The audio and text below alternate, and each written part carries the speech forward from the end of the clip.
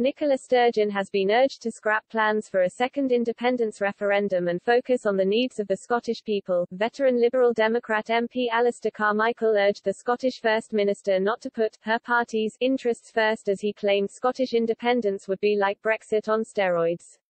Ms Sturgeon has insisted she has an unarguable mandate to hold a second vote on Scottish independence. She sought to use her speech at the SNP National Conference to restate her intention to hold another independence referendum when the coronavirus crisis is past.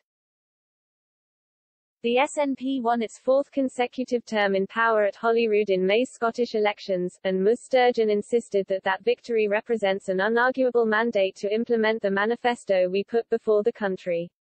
Party chiefs wish to hold a second referendum before the end of 2023.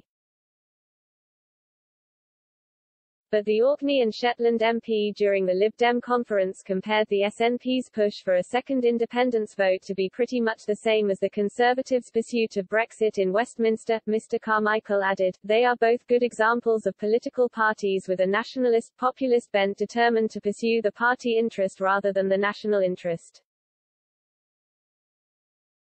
Speaking to journalists during the event which takes place this weekend, Mr. Carmichael continued, It doesn't matter what the question is, they always manage to bring it back to independence. I think it is quite remarkable, and I think Nicola Sturgeon knows this herself, to think that we are going to be past the challenges of COVID in the next few months or even the next couple of years.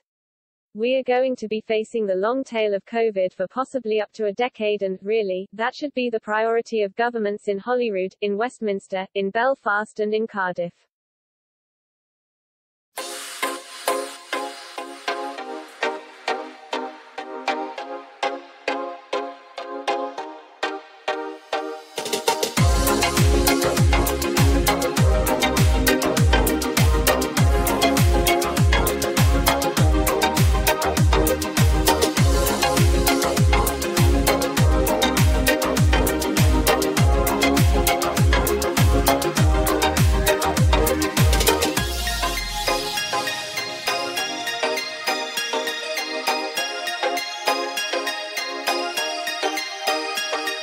Queen Margrethe II to bring Karen Blixen's image creating worlds to life in Netflix film.